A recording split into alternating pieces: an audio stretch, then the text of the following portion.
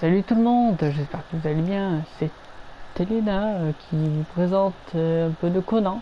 Vous n'avez pas l'habitude, donc vous voyez que je suis en train de me faire une petite armure lourde, bientôt peut-être à 400 euh, d'armure au total. Euh, je vais enlever le casque et faire la vidéo sans le casque, j'en ai pas besoin.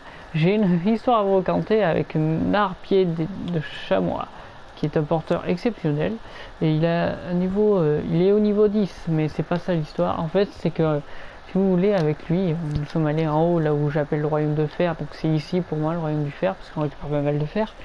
Prochaine étape, c'est aller en savane.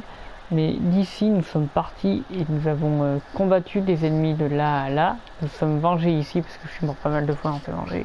Et on était en train de rentrer à la maison quand on a vu une hyène avec des yeux bizarres. C'était un boss hyène. Et si vous voulez, euh, on a combattu ensemble cette boss hyène, sauf que moi je suis mort, évidemment je suis dead. Et je m'inquiétais parce qu'il revenait pas à la mais il revenait pas et tout ça. Et bien, figurez-vous que il a dû il a battu le boss à lui tout seul. Et il est rentré à la base. Il est là, regardez. Un vrai BG. Qu'est-ce que vous en pensez?